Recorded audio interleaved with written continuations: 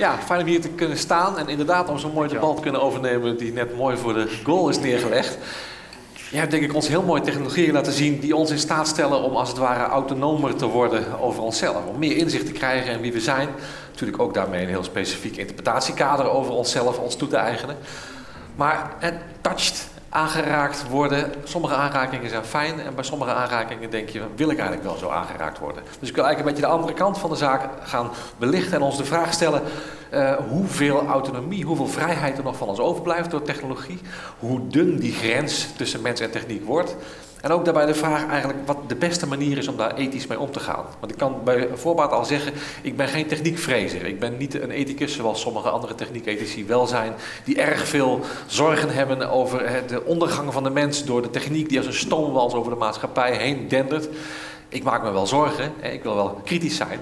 Maar ik denk juist dat we als ethici dat het beste kunnen doen door techniek echt ware recht in de ogen te kijken. En proberen te snappen hoe techniek invloed heeft op de mens.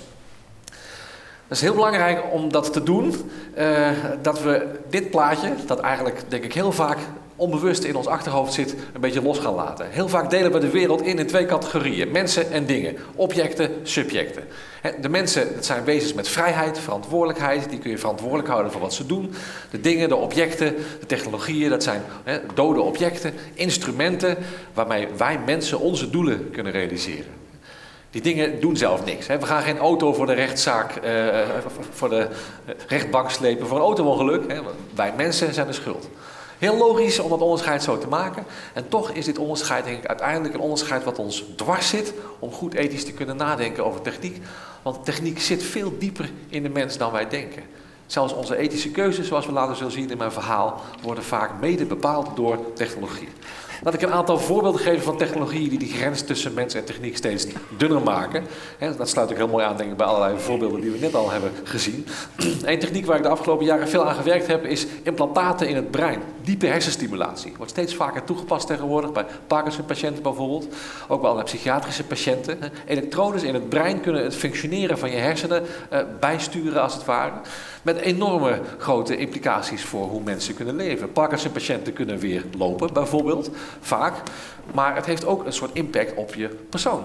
want je kunt weer lopen omdat er meer dopamine door je lichaam stroomt. Maar dat is een stofje waar je je ook vaak wat overmoedig van kunt gaan voelen. Het voelt heel prettig, maar dat mensen soms er heel anders uitkomen dan ze van tevoren waren. Je roept als het ware heel veel zaken op, veel meer zaken dan die je misschien wilde oproepen.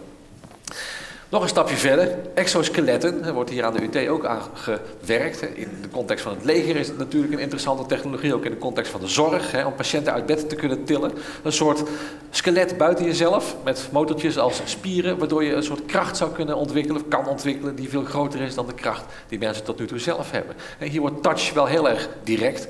Mensen worden echt een soort hybride, een cyborg, samen met technologie.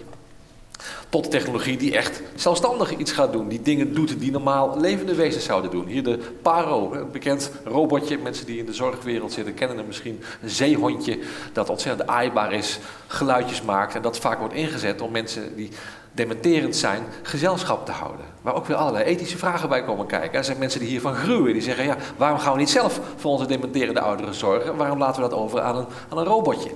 Aan de andere kant kun je je ook natuurlijk afvragen, ja, wat is nou het verschil tussen een robotje of een tv de hele dag aanzetten of een stapel boeken naast iemand neerleggen. Maar dit zijn precies wel de issues waar we over moeten nadenken. Google, de bril hè, die binnenkort hier ook op de markt zal komen, is ook een mooi voorbeeld van touched touched in de zin dat Google niet zomaar ons een soort uh, nou ja, extra beeldschermpje belooft. Volgens nog is het eigenlijk nog niet veel meer dan dat. Een beeldschermpje waar je heel veel moeite voor moet doen om nog in je erop te kunnen kijken. Maar de hoop is natuurlijk dat er een soort augmented reality wordt. Dat er een soort laag over je wereld wordt gelegd. Waardoor je een soort tweede werkelijkheid kunt integreren met je echte werkelijkheid. dus hier word je aangeraakt via je gezichtsvermogen. Maar wel met enorme implicaties. inderdaad, er werd net al opgemerkt. Facebook vraagt je niet voor niks al jarenlang om alle gezichten gezichten te taggen hè, van mensen die je kent op Facebook. Er zijn enorme databases met gezichten. Google roept heel hard dat ze de gezichtsherkenning nooit aan zullen zetten met de Google-bril. Dat is natuurlijk niet tegen te houden. Het is gewoon de meest voor de hand liggende applicatie, lijkt mij. Als je een cameraatje op je hoofd hebt, je bent aangesloten op die enorme database van Google, dat je mensen die je tegenkomt ook via hun gezicht, niet alleen maar via hun naam, kunt opzoeken. Dus dit heeft ook enorme implicaties natuurlijk voor de kwaliteit van de openbare ruimte. Hoe anoniem kun je nog op straat zijn? Hoe kunnen wij hier het beste mee omgaan? Technologie kruipt ook in onze materiële omgeving. Niet alleen maar in onszelf, in ons lichaam, maar ook in de wereld buiten ons. De omgeving wordt steeds slimmer, detecteert steeds meer van ons en gaat ons ook op die manier aanraken. Die sensoren die hoef je niet alleen maar in te slikken of op je lichaam te plakken. Die kunnen inderdaad gewoon ook in de wc zitten, in de muur. Ziekenhuisbedden kunnen begrijpen of mensen uit bed stappen of uit bed vallen. Deuren in ouderentehuizen kunnen snappen of iemand wel of niet de deur uit mag, et cetera. Dus techniek gaat ook buiten ons zelf steeds meer zich bemoeien met hoe wij leven. En soms is die bemoeienis ook heel expliciet. Hè. Laatste voorbeeld. Uh, er is een heel veld aan het ontstaan van een technologie van wat ze dan noemen nudging. Hè, mensen een, een, duwtje geven in een bepaalde richting. Doelbewust het beïnvloeden van het gedrag van mensen. Soms ook heel directief, zoals hier. Hè, een alcoholslot in een auto. Mensen die al vaker zijn betrapt met alcohol achter het stuur. Kunnen op deze manier worden gestraft, zou je kunnen zeggen. Hè. Mensen die voor een beroep echt moeten autorijden kunnen verplicht worden om zo'n auto te rijden, waardoor ze alleen maar kunnen rijden als hun ademtest aantoont dat ze niet gedronken hebben. Dus hier is de touch misschien nog wel het allermeest uh, gekoppeld met onze autonomie. Als techniek echt invloed heeft op hoe wij ons gaan gedragen, misschien zelfs wel hoe we denken, wordt het voor mensen soms nog een beetje akelig. Gaan mensen zich zorgen maken. Hoe ver gaat nou die versmelting tussen mens en techniek? Hoe nauw raken wij verweven met technologie? Is het nou iets waar we heel erg tegen moeten zijn? Er zijn mensen die zich heel veel zorgen maken. Die zeggen, de mens is een autonoom wezen, een wezen dat zorg kan dragen voor zichzelf. En die apparaten om ons heen, dat moeten gewoon instrumenten zijn. Wij moeten de baas kunnen blijven over die apparaten. Op het moment dat we apparaten gaan ontwikkelen die de keuzes voor ons gaan maken, verliezen we eigenlijk het meest eigene van de mens, onze autonomie. Dat mogen we nooit doen. En andere mensen die zeggen, nee, de mens is natuurlijk gewoon een uitkomst van een soort evolutionair proces. Het zou natuurlijk wel heel gek zijn als de mens in miljoenen en miljoenen jaren is ontwikkeld en dan opeens stopt de evolutie. Natuurlijk stopt de evolutie niet, zeggen die mensen, die gaat gewoon door. Tot nu toe hebben we de techniek eigenlijk vooral gebruikt om de maatschappij en om de, de, de natuur om ons heen aan te passen. En nu gaan we de techniek simpelweg op onszelf toepassen. We gaan naar een wezen voorbij de mens. We zijn een overgangswezen, zou je kunnen zeggen. Over een tijdje komt onze opvolger en kunnen wij worden bijgezet in het rijtje van de, van de apen, zeg maar, die wij nu als onze voorouders zien. Nou, ik denk eigenlijk dat deze beide posities, hè, dat je heel erg veel zorgen maken over het verloren gaan van de mens, omdat techniek zoveel invloed heeft op de mens, of denken van nou, laten we ons maar zo snel mogelijk koppelen aan al die techniek om een wezen te maken, hè, wat een soort nieuwe mens wordt. Allebei die posities, daar gaat iets mis. Wat ze precies niet doen waarvan ik in het begin zei dat we het wel moeten doen. Namelijk, ze vergeten om die grens tussen mens en techniek te vervagen. Eigenlijk gaan ze uit van dat plaatje wat ik in het begin liet zien. Dus of je hebt mens tegenover techniek, en de ethiek moet dan een soort grenswacht zijn tussen die twee, want tot hier en niet verder. Dit willen we wel, dat willen we niet. Maar het is eigenlijk een heel lastige positie als je bedenkt dat ook de mens die wij nu zijn enorm bepaald is al door de technologie om ons heen. Zoals wij denken, zoals we doen, hoe we leven. Als je techniek eruit wegdenkt, blijft er niets van ons over. Die grens is bij voorbaat al doorzichtig, zou je kunnen zeggen. De anderen, de mensen die zeggen laten we de mens opheffen, die kieperen de mens juist als het ware over die schutting. En heffen de mens inderdaad op en laten hem samensmelten met techniek. Zonder zich af te vragen wat techniek dan doet. Hoe de kwaliteit van ons bestaan beïnvloed wordt door technologie. Ik denk dat de kunst is om techniek in de mens te denken. En dat is eigenlijk helemaal geen nieuw inzicht. De oude Grieken hadden dat al. De mythe van Prometheus, ik weet niet of u hem kent. Heel mooi verhaal over technologie. De goden gingen de eigenschappen uitdelen aan alle wezens op aarde. Dus daar stonden ze allemaal, de vogels, de vissen. De mens stond aan het eind. De vogels kregen vleugels, de vissen kregen vinnen. En toen waren ze bij de mens. En toen was het op. Er was niks meer over. Dus de mens ging onverrichte zaken terug. Nou, uiteindelijk werd dan het vuur gestolen van de goden door Prometheus. Die schonk dat aan de mens. De techniek, dat is als het ware ons kunstje in de natuur. Dat is waardoor wij mens kunnen zijn. Techniek bepaalt ons als mensen. Kunstenaars kunnen dat ook heel mooi inzichtelijk maken. Ik vind dit een heel inspirerend kunstwerk. Stellark, Grieks-Australische kunstenaar, die heel veel experimenteert met de grens tussen mens en techniek, heeft dit werk al heel lang geleden gemaakt. Een performance, The Third Hand heet het. En dit werk laat voor mij iets heel erg essentieels. Hij heeft zichzelf een derde hand laten aannaaien, letterlijk. Een robothand. met als doel om met drie handen te gaan schrijven.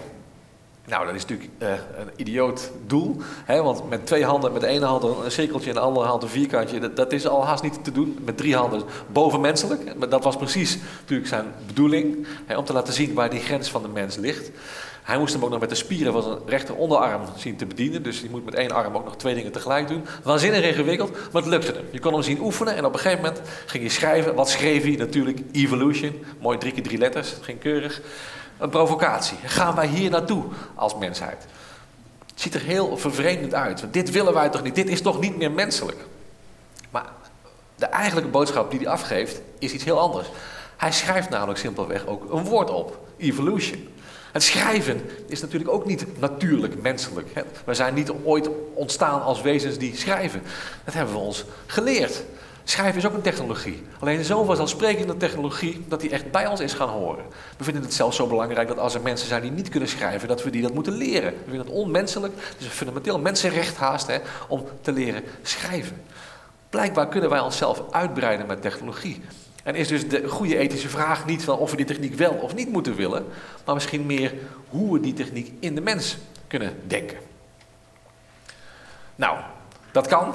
Het gaat me niet om de details van dit plaatje, maar om u een indruk te geven. In de techniekfilosofie proberen we juist dat. Dus niet mens tegenover techniek, maar techniek als een manier van mens zijn. Techniek als ons trucje in de natuur beschouwen, betekent techniek zien als een kanaal tussen mensen en de wereld in de praktijk is dat natuurlijk ook heel vaak zo. Technologieën zijn als het ware de manier waarop wij handelen, de manier waarop wij ervaren. Een bril, je kijkt niet naar je bril, maar je kijkt door je bril heen. Die bril lijf je als het ware in. Of een thermometer of een sensor die een waarde toont, die, die lees je af. Die heeft een soort eenheid met die wereld. En jij richt je op wat voor afspiegeling die sensor van de wereld geeft. Andere technologieën, zoals een robot, een geldautomaat, daar heb je een interactie mee. Nog weer andere technologieën vormen een soort context, hè, een soort achtergrond, zoals het automatisch aan- en uitschakelen van je koelkast, of het geluid van hè, een beamer of een verwarming of wat dan ook. Technologieën hebben op allerlei manieren invloed op onze relatie met de wereld. En geven ze ook vorm aan hoe we denken, hoe we doen. Dat kun je ook nog uitbreiden. dit is een schema van Don Idy, een Amerikaanse techniekfilosoof met wie ik veel samenwerk. Maar sommige technologieën vallen juist ook weer buiten de grenzen van dit kader. je zou kunnen zeggen, nog dichter bij ons dan een ingelijfde bril is een implantaat in je brein. Waarbij je echt een versmelting hebt tussen mens en technologie. Het wordt een soort eenheid waarbij je niet meer kunt onderscheiden wat nou het aandeel is van de techniek en wat het aandeel van de mens als iemand opeens anders wordt als hij een hersenimplantaat draagt. Of actiever dan een achtergrondrelatie is een soort onderdompelingsrelatie, een soort immersie, hè, waar je in slimme huizen, slimme woningen, slimme stations of ziekenhuizen ondergedompeld wordt in wat een gebouw met jou doet. Hoe het gebouw jou waarneemt, welke deuren open gaan en welke gesloten blijven, et cetera. Dit is een heel ander kader om over techniek na te denken. Techniek in de mens denken. Tegelijkertijd, juist aan die extreme wordt het voor mensen akelig. En dat is misschien waar we nog eens even op moeten inzoomen in het laatste stuk van mijn verhaal heel vaak roept juist dat, uh, zeg maar die, die mogelijkheid dat techniek in ons lichaam of in onze buitenwereld de dienst kan gaan uitmaken, de angst op dat wij onze autonomie, onze controle verliezen. Dat is al een hele oude angst. Charlie Chaplin had hem al ten aanzien van de industriële revolutie. Je kent het plaatje misschien, de film Modern Times. De film die prachtig die angst laat zien van wie was nou eigenlijk de baas over wie. We gingen al die stoommachines en al die fabrieken bouwen vanuit de gedachte dat al die stomzinnige arbeid van vroeger niet meer door mensen hoeft te worden gedaan, maar door machines kan worden gedaan. Maar ja, uiteindelijk, wie werd nou de slaaf van wie? Die machines die moesten steeds harder gaan werken, want die zijn hartstikke duur. Dus die fabrikanten die moesten hoge omzet draaien, hoge productie leveren. En die gingen zo snel functioneren, die machines, dat ze toch weer door mensen moesten worden gevoerd. Nou, hier in Twente, het gebouw waar we nu staan, met garen, klosjes, et cetera. De mens moest het ritme van de machine volgen en de mens werd de slaaf van de machine in plaats van andersom.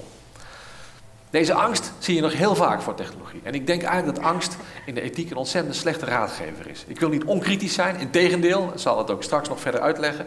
Maar alleen maar vanuit de houding van ja of nee, dit willen we niet, want hè, komen we geen steek verder. Nou, als je van angst af wil, dan zijn er mensen die daarvoor doorgeleerd hebben. Uh, Freud, uh, ik, ik, zal u niet uh, inwijden in de psychoanalyse, maar Freud heeft op een heel ander vlak eigenlijk een paar hele leuke opmerkingen gemaakt over de wetenschap, die ik eigenlijk wil vertalen naar techniek. Freud heeft ooit laten zien dat de wetenschap eigenlijk misschien wel de ultieme krenking is in het overdreven zelfbeeld dat mensen kunnen hebben. He, want wij dachten dat wij het allerbelangrijkste schepsel op deze aarde waren, maar ja, toen kwam Copernicus en die liet zien dat de aarde om de zon draait en niet de zon om de aarde. Toen kwam Darwin en die liet zien dat we misschien wel dichter bij de aap staan dan, dan bij God. En Freud zelf kwam toen met, als de derde deuk in ons zelfbeeld, met het inzicht dat we helemaal niet zo autonoom zijn en helemaal niet zo baas over onszelf, maar dat wie wij zijn eigenlijk een soort afweerreactie is op een kolkende pool van allerlei onbewuste eh, angsten en wensen. In zijn Victoriaanse tijd natuurlijk vooral seksuele wensen, die we haast niet durven aankijken. Dus wij zijn helemaal niet zo speciaal. Nou, misschien is techniek eigenlijk wel de vierde deuk in ons overdreven hoge zelfbeeld. Misschien moeten we wel leren accepteren dat de manier waarop wij mens zijn, waarop we denken, handelen, keuzes maken, heel erg nauw verbonden is met de technologie om ons heen. Alleen de kunst is om dat niet te zien als een bedreiging voor onze autonomie, een bedreiging voor ons mens zijn, maar simpelweg als een gegeven waar we al sinds ons ontstaan mee hebben moeten leven en daar goed mee leren leven. Dat is waar de ethiek over zou moeten gaan. Misschien een paar voorbeeldjes om u te laten zien hoe dat werkt. Hele platte voorbeeldjes zou je kunnen zeggen. Techniek zit zelfs in onze moraal. In de keuzes die we maken ten aanzien van wat wij goed vinden en wat wij niet goed vinden. Nou, heel veel mensen zeggen intuïtief, ja maar wacht even. Als techniek onze moraal gaat bepalen, dan is het echt met ons gedaan. De ethiek dat is toch het kroonjuweel van de mensheid. Wij kunnen keuzes maken over goed en kwaad. Dat kunnen de dieren niet of nauwelijks. De apen schijnen het ook te kunnen en de dolfijnen. Maar dan houdt het wel eens een beetje op. Toch zit er heel veel moraal ook in de techniek. Het muntslot in een winkelwagentje is daar denk ik een heel mooi voorbeeld van. Er zit een soort norm in, namelijk dat je je wagentje weer terug moet zetten op de plek waar je het vandaan hebt gehaald. Voor de introductie van het muntslot lieten mensen een winkelwagentje rondslingeren op de parkeerplaats bij de fietsenstalling. Een wagentje kost natuurlijk veel meer dan 50 eurocent. Hè, dus het is ook niet dat je denkt van nou, ik betaal 50 cent, ik neem het mee. Maar toch wil je die 50 cent graag terug. En iedereen zet keurig weer zijn winkelwagentje in de rij. En dat apparaat zit niet in de, in de dingenwereld, maar in de mensenwereld. Het belichaamt de menselijke norm en zorgt ervoor dat ons gedrag aangepast wordt. Geen diepe ethiek, maar wel een normerend ding. Het vestigt op een materiële manier, niet met woorden, maar met materie, een norm. Geldt ook voor waarden. Als u een lady shave hebt van Philips en u wilt hem repareren omdat hij niet meer functioneert, dan zal u dat niet lukken, want die dingen zijn dichtgesield. Niet dichtgeschroefd, er zit geen schroefje in, maar dichtgesmolten als het ware. Dat betekent dat je als vrouw geen toegang krijgt tot eh, de binnenkant van je apparatuur. Omdat je daar niet in geïnteresseerd zou zijn volgens het ontwerp. Misschien niet toe in staat zou zijn. Ik weet niet wat de overwegingen van de ontwerpers waren. Maar mannen krijgen doorgaans juist een exploded view meegeleverd. en een gereedschapssetje als je mazzel hebt een klein doosje met een schroevendraaiertje en een kwastje om te openen en wat reinigingswerkzaamheden uit te voeren. Er zit een heel ander waardepatroon over mannelijkheid en vrouwelijkheid in dit soort technologie. Interessant. Dus, en dat is natuurlijk door die ontwerper zo onbewust wellicht daarin gebouwd. Maar het heeft natuurlijk ook implicaties. Op deze manier kunnen vrouwen er ook nooit meer wat van maken, zou je kunnen zeggen. nou, een laatste voorbeeld. Uh, Annemarie Mol, een Nederlandse techniekfilosoof, wetenschapsfilosoof, uh, die heel interessant werk doet, heeft ooit, al heel lang geleden, dit voorbeeld uitgewerkt om uit te leggen hoe diep technologie verweven kan zijn met onze moraal. De pil, laat zij zien, heeft een enorme rol gespeeld natuurlijk in de emancipatie. Natuurlijk, vrouwen kunnen, net als mannen, sinds de pil seks hebben zonder daar meteen een kind van te hoeven krijgen. Dus het maakt een gelijkheid mogelijk tussen man en vrouw die er voor de pil niet was. Maar, zegt zij, nog veel belangrijker dan de emancipatie van de vrouw... is eigenlijk de emancipatie van homoseksuelen door de pil. Dat is natuurlijk een bijzondere move, want homo's hebben de pil niet nodig. Eigenlijk is dat deel van haar argument, want ze laat heel mooi zien dat eigenlijk tot aan de introductie van de pil een heel vanzelfsprekend argument tegen homoseksualiteit was dat het onnatuurlijk was om seks te hebben zonder dat je daar kinderen van kon krijgen. Seksualiteit en voortplanting waren heel nauw met elkaar verweven, simpelweg omdat dat zo werkte. Er was geen echt betrouwbare manier, die, die echt net zo betrouwbaar is als de pil, om die twee uit elkaar te houden. Ja, er waren natuurlijk wel trucjes, maar ja, er was altijd een risico. Seks en voortplanting hoorden echt bij elkaar tot de pil. Door de pil, natuurlijk horen ze nog steeds bij elkaar. Als je een kind wil, moet je seks hebben. Maar, nog, hè, dat, ik weet ook niet... Volgens nog is dat zo. Maar daar kiezen we nu voor. En vaak pas zo laat dat er weer een dokter bij moet komen om ons dan nog weer daarbij te helpen. Dus heel interessant. Een bolletje met hormonen, zonder dat dat ooit bedoeld is door een of andere ontwerper, beïnvloedt onze moraal. Wij zijn door en door technologische wezens, zou je kunnen zeggen. En dan wordt deze vraag eigenlijk, wat mij betreft, een soort achterhoedegevecht. van, zijn we nou voor of tegen de techniek? Willen we het wel of willen we het niet? Tuurlijk, ehm, ik kan mij zorgen maken over technologieën en denken, van, moet het allemaal wel op deze manier? Dus ik wil totaal niet hiermee zeggen dat we niet kritisch moeten zijn. Maar de fantasie dat je nee zou kunnen zeggen, dat je techniek weg zou kunnen denken uit de mens, die fantasie die helpt je alleen maar op het verkeerde pad. De vraag moet niet zijn, willen we het wel of willen we het niet? De vraag moet zijn, wat is een goede en verantwoorde manier om om te gaan met die technologie? Misschien in extreme gevallen zou dat hoe ook kunnen leiden tot nee, maar het is verdraaid lastig. De atoombom is zo'n technologie waarvan we eigenlijk allemaal wel zeggen, nou nee, maar ja, krijg hem maar eens weg. Het lukt ons aardig om in te dammen, maar totaal verdwijnen zal die nooit. Hetzelfde geldt ten aanzien van die discussie over nudging. Er zijn mensen die maken zich heel veel zorgen, en daarmee sluit ik dan ook af, over de invloed op onze autonomie van nudging. Hè? Nudging, een duwtje geven, hè, de materiële wereld zo inrichten dat mensen worden gestimuleerd om bepaalde handelingen wel of niet uit te voeren.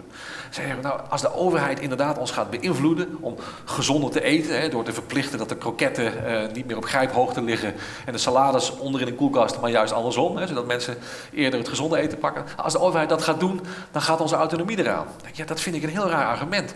Want vanuit de inzichten die ik u net gaf, moet je eigenlijk constateren dat elke materiële omgeving onherroepelijk altijd invloed heeft op ons. Je moet toch iets kiezen.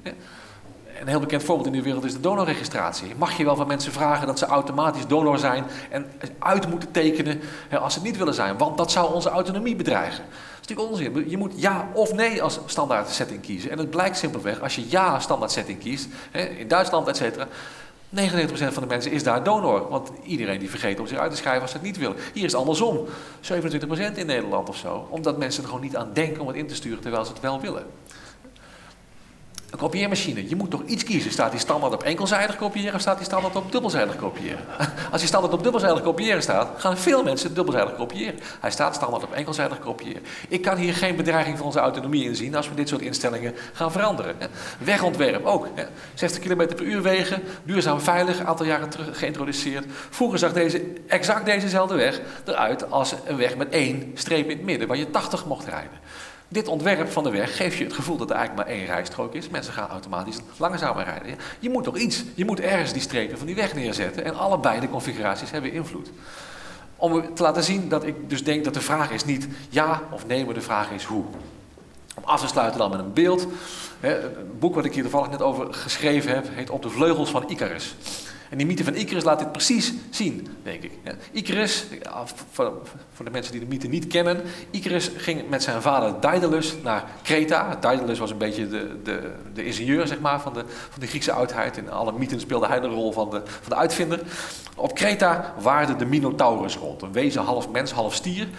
Uh, en uh, die moest worden ingedampt, want die frat jonge mannen op. En uh, daar moesten ze wat mee. Daedalus had een oplossing bedacht. Hij dacht, ik bouw een doolhof. Het beest is hartstikke dom. Dan jagen we hem in dat doolhof en kan hij nooit meer uit. Dan zijn we van hem af. Dus dat deed hij. En het was klaar. Ze wilden terug naar Athene. Maar toen ze op de boot wilden stappen, stond daar koning Minos. En die zei, sorry heren, maar dat zal niet gaan. Want jullie kennen nu het belangrijkste staatsgeheim van Kreta. Jullie kennen de weg in een doolhof als enige. Dus jullie moeten voor altijd mijn gevangenen blijven.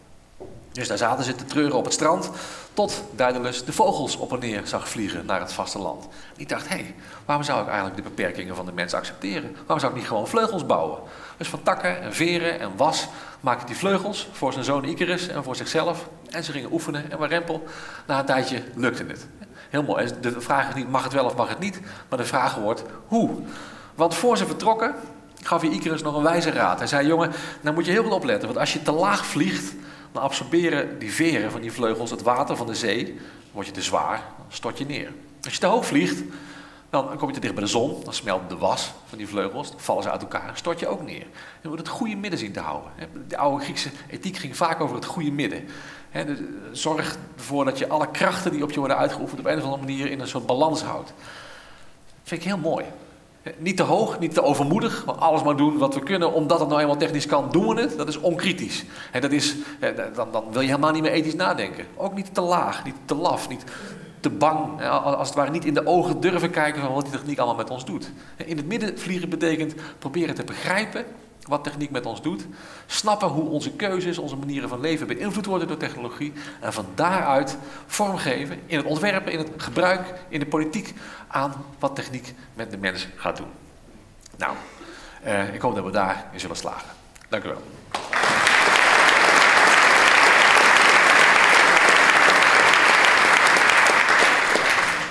Nou, ik weet ook weer waarom ik jouw college wel zo leuk vond.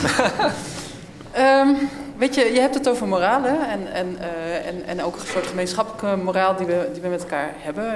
Even ook tot uiting komen, onder andere in het uh, 50 cent muntje in een, uh, in een karretje.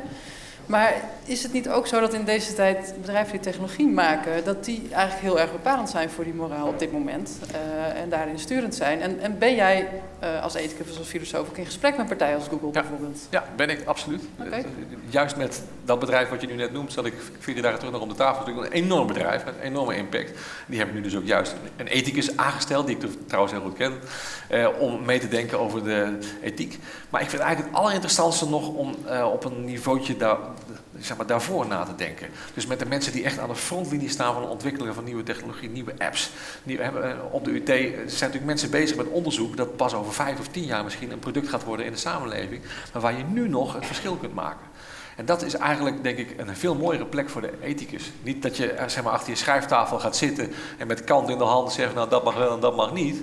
Maar dat je probeert mee te wel... denken met de ontwerpers. Ja, ik snap het, want je vormt ook een nieuwe moraal feitelijk met nieuwe mensen, uh, ja. hè, gezien de nieuwe omstandigheden. Maar ja, desalniettemin, uh, zo'n Facebook-actie die de data van uh, Maarten overneemt, ik kan me voorstellen dat, ja, dat we daar juist wel aan tafel willen zitten. Ja, nou ja, precies. En der, ja, er zijn denk ik twee soorten manieren waarop technologie impact heeft op ons. Hè. Dus uh, je hebt een invloed gewoon op hoe je je dagelijks leven inricht en uh, ja, wat onze visies überhaupt zijn op goede manieren van leven. En je hebt natuurlijk duidelijk een soort zeg maar, bedreigende rol van ja, zijn er nog wel voldoende mogelijkheidsvoorwaarden om op een goede manier je bestaan te kunnen inrichten. Nou, extreme privacybedreigingen, et cetera, horen meer tot die categorie. Vind ik misschien ook haast nog meer een kwestie van politiek dan van ethiek. He, daar moeten gewoon strenge wetten voor komen. Nee. nee, maar ik bedoel, die ethische ja. uh, codes die kun je wel degelijk voeden aan de politiek. Ik wil daar graag over meedenken, nee, laat ik het zo zeggen. Maar het gaat meer om macht uitoefenen, van dit mag wel en dit mag niet. En in ethiek gaat het toch minder over macht, maar meer over ja, hoe kun je nou op een goede manier omgaan met Snap met het. Vragen? Durft iemand nog? oh ja, daar, een Bart. Uh, zal ik even naar jou toe lopen?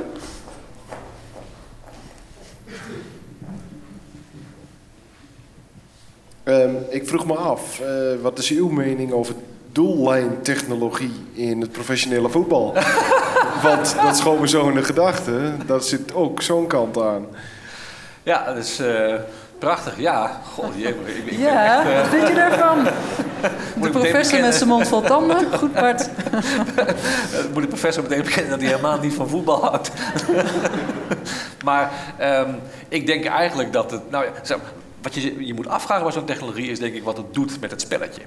He, dus eh, niet van... Eh, als het, het allerbelangrijkste in het spelletje zou zijn dat we precies weten of, uh, of het buitenspel was, of die bal uit was of niet. He, dan, nou, dat gaat nu om uit of niet, neem ik aan. Hè. Ja, dan. Ja, sorry hoor. Even zeker weten. maar. Um, het blijkt heel vaak, maar ik, ik, ik, ken deze discussie in de wereld van de tennis toevallig, omdat ik een keer een paper heb beoordeeld daarover, waarin het ging over de vraag of je nou een doellijnsensor de baas moet laten zijn of de scheidsrechter op zijn hoge uh, kruk. En um, omdat de spelers het perspectief hebben van wat meer lijkt op de scheids, is het eigenlijk veel beter om die scheids toch te laten beslissen, ook al maakt hij soms fouten. Omdat eigenlijk optisch gezien die doellijn anders aanvoelt voor de spelers in het spel dan voor zo'n sensor. En dat is denk ik precies een techniek-filosofisch inzicht. Hè? Die, die sensor die ervaart, als het ware, als ding, de wereld ook. En wat je moet vinden is een goede match tussen hoe mensen die doellijnen ervaren in het spel en hoe die sensoren dat mee kunnen krijgen. Want anders kun je voetbalspelers nooit aanrekenen op het feit dat ze een bal wel of niet eh, oppakken, als hij uit was of niet. omdat er geen goede match is tussen de mensen en de, en de techniek. Oké. Okay. Goed uitgelegd. Nog een weerwoord, Bart? Of, voetbal is natuurlijk wel heel veel geld meer gemoeid of een doelpunt wel of niet. Dat kan dus wel wel uur Ja. Ja. Ja.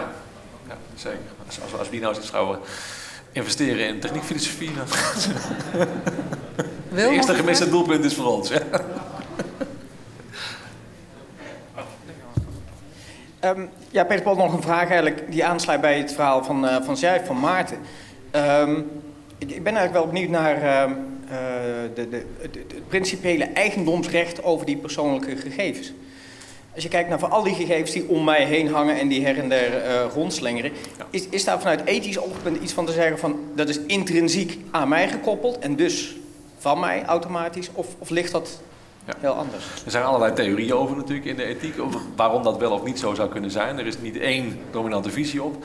Ik zou zelf eigenlijk vanuit mijn techniekfilosofische achtergrond zeggen dat uh, de vraag wat van jou is en wat niet zich ook ontwikkelt met technologie. En dat zie je ook heel vaak in discussies over de privacy. Dat uh, bepaalde vragen komen op juist omdat techniek op een bepaalde manier onze privacy ja, zeg maar bedreigt. He, dus hier is denk ik de vraag eh, wat voor betekenis kan het hebben om bepaalde gegevens als jouw gegevens te beschouwen en niet als die van de samenleving in de manier waarop onze maatschappij functioneert. Die grens die ontwikkelt zich steeds door technologie, ook door de ontwikkelingen verder in de, in de samenleving. En ik denk dat het dat je langs die lijnen moet aanvliegen. Want als je denkt van nou dit is principieel van mij, dat is geen houdbare positie. Hè? Want hoe je eruit ziet, hoe je ruikt, of je gestrest bent of niet, eh, hoeveel kinderen je hebt, eh, op welke school je bedoelt. Er zijn zoveel dingen die openbaar zijn over jou, die iets kunnen verraden over jou. Dat, er is een poreuze grens tussen jou en de informatie over jou en die, en die buitenwereld. Dus ik denk dat het zich ontwikkelt en het ook afhangt van de materiële situatie, van de technologie om je heen, waar die grens ligt. En dat we dat vooral onderling moeten afspreken en in wetgeving moeten vastleggen, tot hoever je ook kunt eisen dat het beschermd blijft wat er van jou is en wat niet. Ja, dus met andere woorden, we gaan het zien en we moeten goed door het midden blijven vliegen. Ja. Um, dankjewel Peter Paul. Graag gedaan. Groot applaus.